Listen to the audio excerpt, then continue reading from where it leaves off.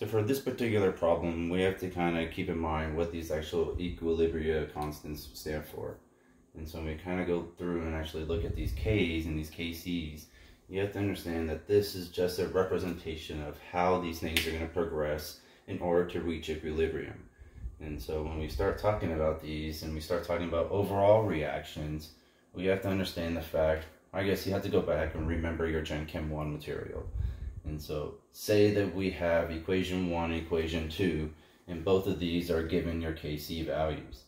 And so very similarly to Gen Chem 2, whenever you're given these two equations, and I'm saying add these two equations to solve for that, you can again kind of add these two up, cancel out units that don't belong there, so on and so forth. But one thing you also have to understand is whenever we're manipulating our KCs, it's much different than when we were manipulating our delta H's and our delta E's back in Gen Chem 1.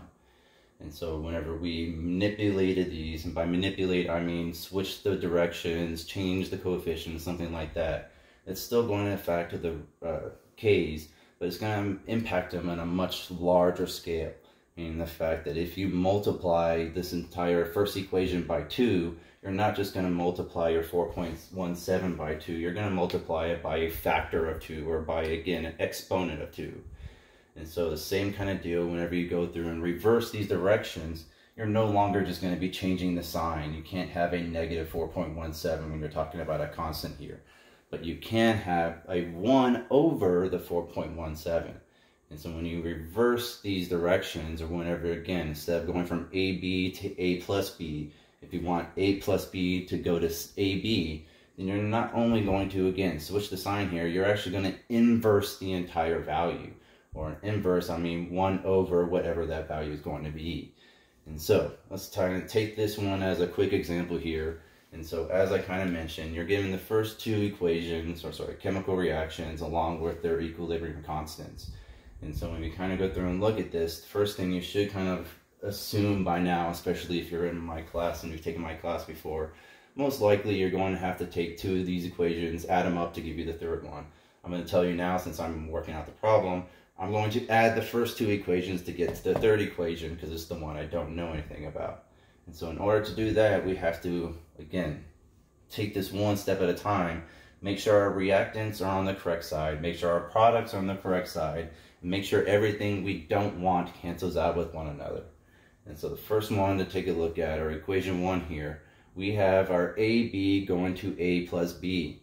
And so here, our A plus B, A and B are both products, whereas in our overall reaction, our A and B are both going to be reactants, meaning the fact that we have to swap these directions. AB is not in my overall equation, so hopefully along the route that I'm going to take you, we get rid of our AB somehow. But again, kind of take that for, I guess, ignore it for right now. And so, as I kind of stated, we have to come, like, or reverse this whole direction flow. And so if we reverse things, or if we have our A plus B becoming AB, and I'll actually just rewrite it here for us just to make sure we're kind of on the same track.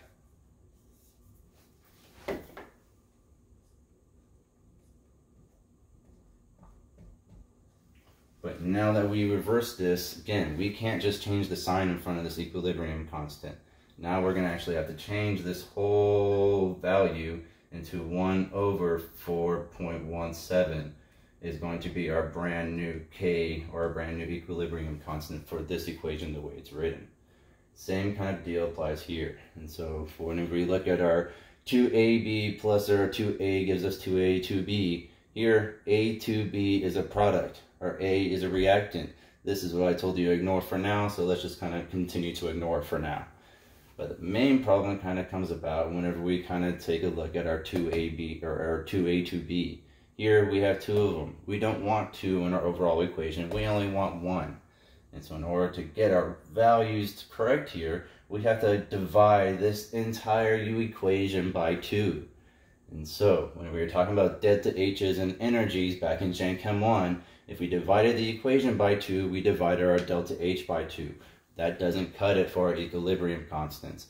If you divide this by 2, or multiply by half, you actually have to raise this to a power of whatever you multiply the coefficients by.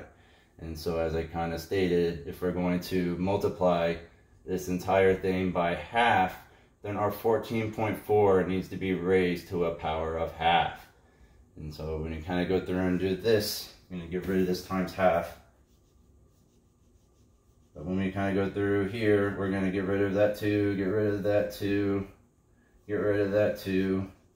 And now we have a brand new equation. Again, this equation is what's represented by this kc equals the 14.4 raised to a power of half. Notice not multiplied, but raised to the power. And so just to kind of make sure everything's still kind of legit here, your AB, when you add the equation 1 and 2, your AB will cancel out with your AB, your A2B, excuse me, is in the right spot. You have two A's here. Oh, my eraser's not erasing. And so now we have our two A's plus our one B to give us our A to B. The way we did that is we added these two values. Something that's a little bit different when it comes to these equilibrium constants is if you add the reactions, you are multiplying the K values. And so here it is no longer just adding these two values or now multiplying. And so adding these two reactions means you have to multiply their K values or without working out too much here, we have our 1 over 4.17 times our 14.44 raised to a power of half. So when you plug this into your calculator, if you want to simplify beforehand, go for it. But if you plug into your calculator, I end up getting, excuse me, a value of 0 0.91. So 0 0.91 is the equilibrium constant of your third value here of that 2a plus b gives you a2b.